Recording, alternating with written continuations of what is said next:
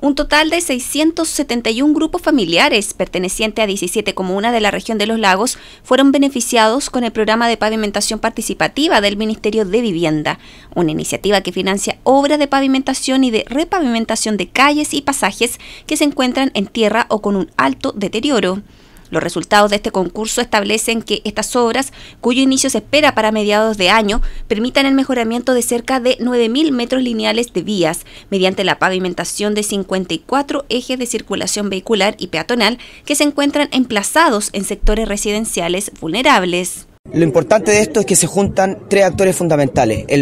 los vecinos a través del Comité de Pavimentación, el municipio y el Ministerio de Vivienda, que en conjunto ponemos los recursos. Yo creo que aquí se nota cuando, cuando se trabaja en conjunto, cuando, cuando se priorizan las obras, hacen que este tipo de proyectos tengan un impacto mayor en una comunidad. En la provincia de Osorno, las familias beneficiadas suman 124, en la provincia de Yanquihue 306, en Chiloé 207 y en la provincia de Palena fueron 34 vecinos y vecinas que se organizaron y conformaron comités de pavimentación para la postulación de sus proyectos.